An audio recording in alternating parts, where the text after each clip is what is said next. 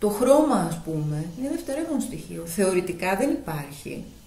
Θεωρητικά όλα είναι wavelengths, κυματισμοί φωτός. Το να έχεις ένα δεύτερο σπίτι, επενδύεις σε κάτι που στην ουσία είναι ακριβώς το ίδιο. Το να κάνεις ταξίδια στην ουσία, στην ουσία κατά βάση, είναι ματαιοδοξία με την έννοια ότι απλά μετακινείς τον εαυτό σου, μεταφέρεις τον εαυτό σου να αποκτήσεις ακριβώς τα ίδια ερεθίσματα, γιατί τα ίδια ερεθίσματα είναι που το μυαλό σου τραβάει σε νέους τόπους.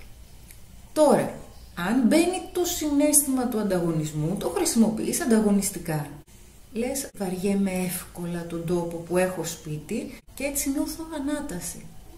Δεν ανακαλύπτεις ότι το κλειδί και το μυστικό της ματαιοδοξίας σου βρίσκεται στο βαρέθηκα και χρειάζομαι άλλο τόπο, χρειάζομαι αλλαγή. Δεν ψάχνεις να βρεις τη ρίζα του γιατί χρειάζεσαι αλλαγή.